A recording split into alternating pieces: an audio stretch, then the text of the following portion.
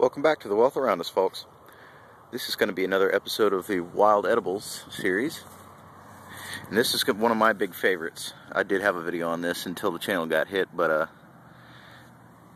this tall stuff here is wild onion grass, and this is a particularly handsome specimen, so I thought I would show you up close.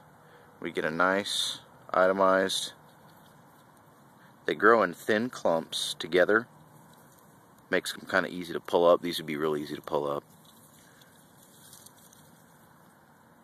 You see it's got these long fronds on it. It will definitely have an oniony smell.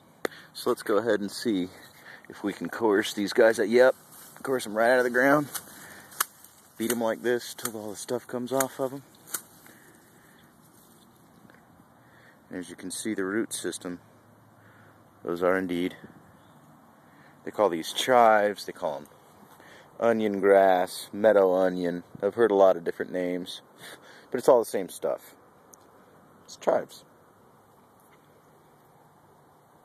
They have, as they get into the ground, they get a more papery covering, like that. You can see right there. And the roots. Now you can eat all parts of this, and I think I will just snap me off a piece here to munch on while we're walking. But as you can see how dispersed it gets, and then it will get big, more established patches like this you see here, but all this standing up out of it is the stuff. And as you can see, there's plenty to eat.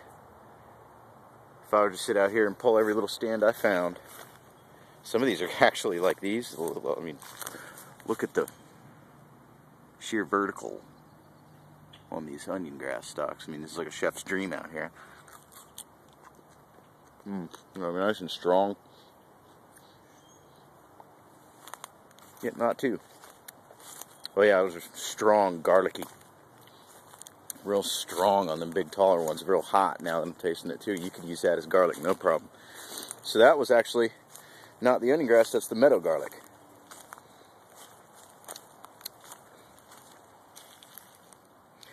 But this stuff will save you from scurvy. It's packed with nutrients.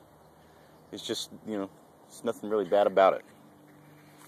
There you have it, one single one of the onion grass slash meadow garlic. Stay tuned for more.